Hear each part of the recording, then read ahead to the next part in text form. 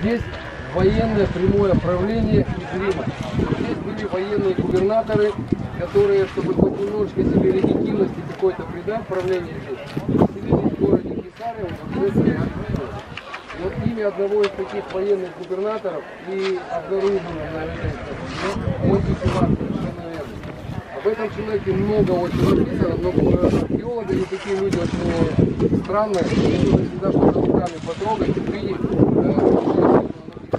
Нашли эту плиту, как раз вот там народ стоит, сейчас мы подойдем туда тоже. Нашли эту плиту, э, на которой всего лишь три строчечки небольшие. Первая строчка Tiberius. Кто такой Tiberius? Римский император, во времена которого Понтий Пилат здесь был губернатором. Вторая строчка Pontius Pilatus. И третья нижняя строчка, увидите, praefectus Иудея. То есть он никогда прокуратором не был, он был praefectus. Кто такие прокураторы? Это чиновник финансового ведомства, он налогами занимался, а префект это именно военный губернатор. И вот о Понтии Пилате много чего написано, и вокруг него такой романтический